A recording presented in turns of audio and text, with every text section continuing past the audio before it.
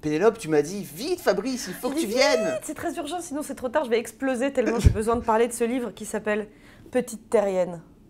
Et alors? En fait, euh, alors petite histoire dont on se fout complètement. J'avais déjà repéré dans une librairie, mais il était en allemand.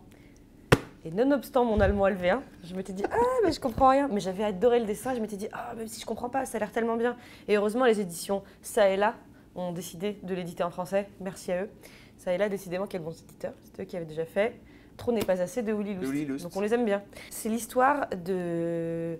On suit trois personnes Mhm. dans la même histoire. Une petite fille, sa grande sœur qui est ado, qui a à peu près, euh, je sais pas quel âge, mais elle est en train de passer son bac et se demander ce qu'elle va faire après le bac. Et leur mère célibataire qui les élève toutes les deux. On les suit toutes les trois, euh, un peu en portrait croisé comme ça. Euh, la mère euh, qui donc a deux filles, dont une qui, comme c'est une ado, c'est une petite connasse qui lui parle pas un jour sur deux et s'enferme dans sa chambre et euh, qui se demande euh, ce qu'aurait été sa vie si elle n'avait pas été mère de famille et, euh, et pourquoi est-ce que son mec l'aide pas et que bon, c'est assez intense. Euh, sa fille qui est ado, bah, elle trouve que sa mère, elle est conne, que elle n'a pas envie après le bac d'aller faire des études, elle voudrait euh, se barrer, euh, faire un road trip avec son mec qui est un horrible connard qui en a rien à foutre d'elle, mais comme elle a 17 ans, elle ne se rend pas compte évidemment.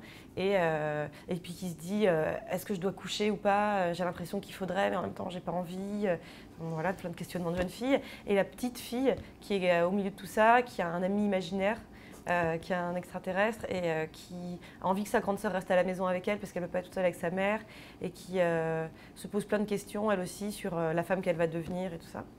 Et le tout est au crayon à papier, hyper dense, sublime quoi. Vraiment hyper attachant et peut-être que c'est un bouquin qui va parler Konana, je sais pas, mais vraiment moi j'ai pas pu le, le lâcher. euh. je l'ai acheté et j'ai commencé à le lire dans le métro. J'ai évidemment raté ma station et puis euh, c'est vraiment, euh, c'est vraiment mon super gros coup de cœur euh, de la mort.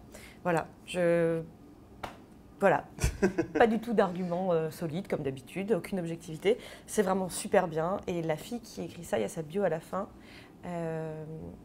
Aisha Franz est née en 1984 à Fürth, en Allemagne. Euh, c'est son premier album. Agacement. Tuerie. Ouais. 84. Rendez-vous compte. Voilà. Oh, c'est super. C'est vraiment super, super. Merci beaucoup Pénélope.